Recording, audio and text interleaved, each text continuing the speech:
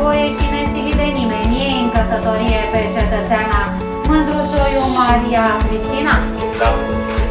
Cetățeană Mândrușoiu Maria Cristina, de bună bunăvoie și nesilită de nimeni, e în căsătorie pe cetățeanul Lazar Andrei Lucian.